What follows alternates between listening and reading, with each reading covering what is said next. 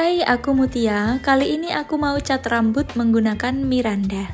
Jika kalian penasaran, jangan skip dan tonton videonya sampai akhir.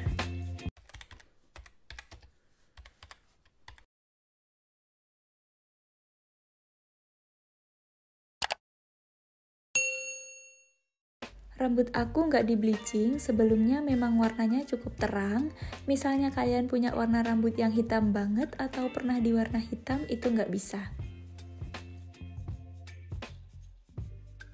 Produk yang aku pakai Miranda As Blonde dan Blue Black. Harganya 11.000 sampai 13 ribuan.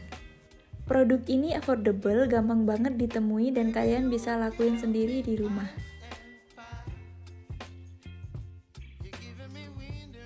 Ada beberapa hal yang kalian siapkan mulai dari bahan dan peralatannya. Yang pertama, kalian siapkan pewarna rambutnya, as blonde 2 box dan blue blacknya 1 box mangkok, sisir pewarna rambut, sarung tangan plastik.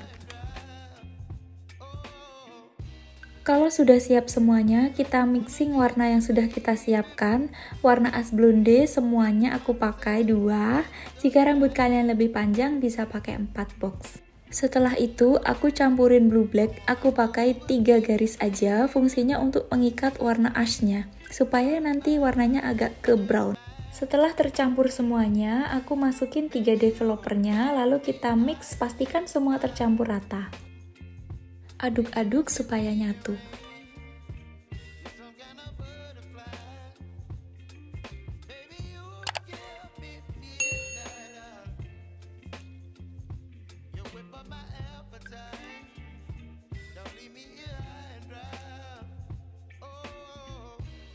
Kita sisir dulu supaya nggak kusut agar produknya bisa merata.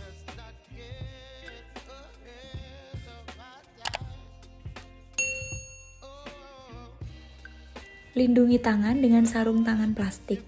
Langsung aja oles dari bagian akar rambut ke ujung rambut, lalu dipijit-pijit supaya produknya bisa menyerap ke batang rambut kalian.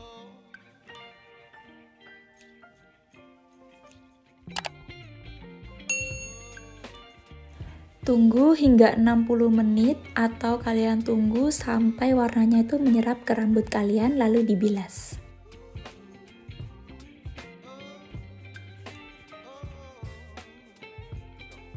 Warna rambut ini aman banget untuk kalian yang gak suka warna terlalu gonjreng tapi tetap terlihat fashionable.